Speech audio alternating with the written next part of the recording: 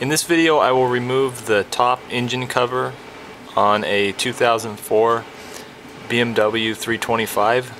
This is the newer style engine cover with no mounting screws. The first step is to remove the cabin air filter. You do this by disconnecting these three little clips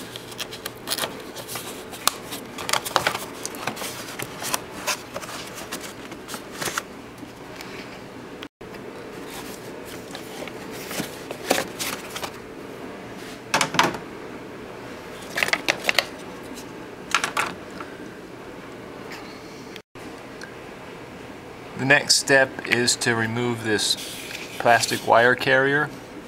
To remove it, you just pull up on each side and remove it from its clips.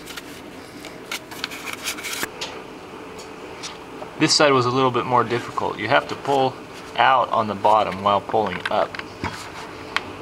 Let's see if I can get it again.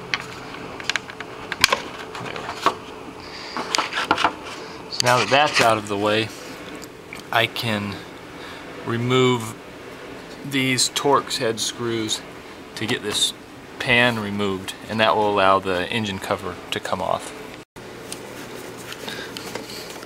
I'm on the last of the four screws holding this cabin filter cover on.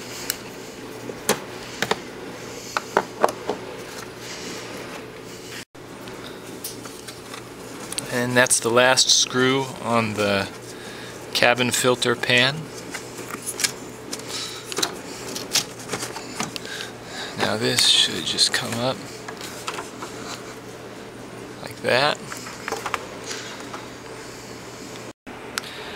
Now that the cabin filter is off and out of the way, we can remove the engine shroud.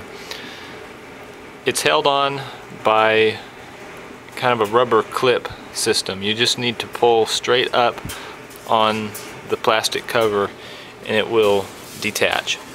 So we'll start here. I think there's one over here.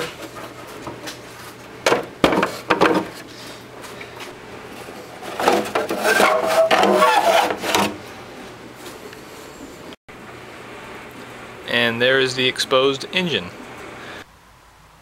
Installation is the opposite of removal. Just start by placing the shroud in position.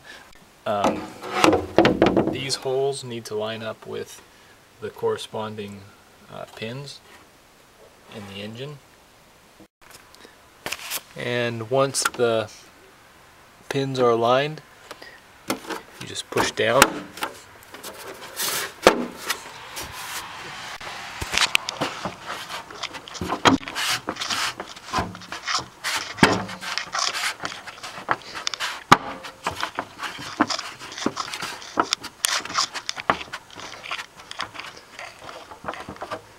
and that secures the plastic shroud. After the shroud is installed, it's time to replace the cabin air filter pan.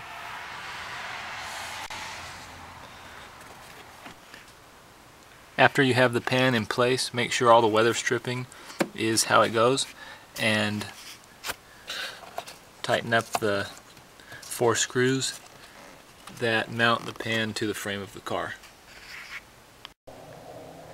Now that the mounting screws are tight, I can reinstall the wire carrier. It just slides onto these clips.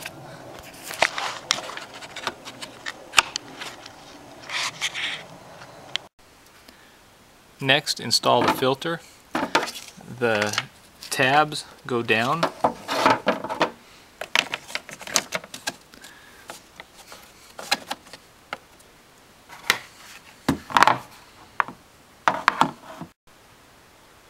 And the last step is to install the top cover. It slides underneath this weather stripping and is held in place by the three clips.